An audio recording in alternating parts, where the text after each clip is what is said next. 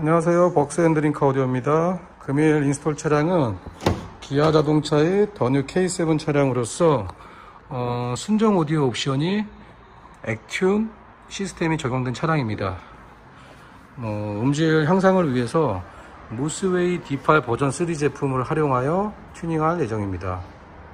트렁크 rear 펜더 우측으로 순정 Actune 앰프가 장착이 되어 있습니다 어, 무스웨이사의 PNP 케이블을 사용하여 뭐 작업이 되어 있으며 일단 마감 작업에 들어가겠습니다.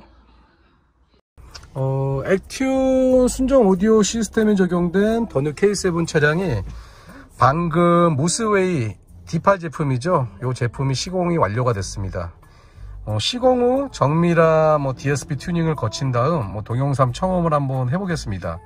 일단 모든 스피커 제품은 뭐 액티오 순정 스피커입니다. 자 그럼 동영상 처음으로 한번 시작해 보겠습니다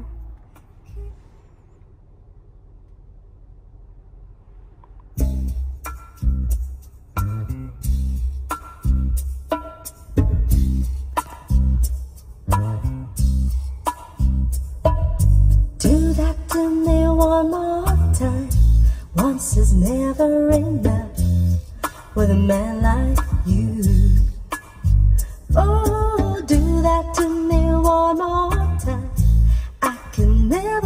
get enough of a man like you. Oh, kiss me like you just did.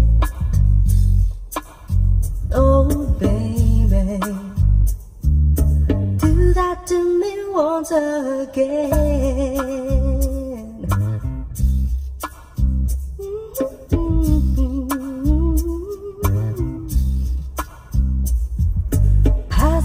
time, more time.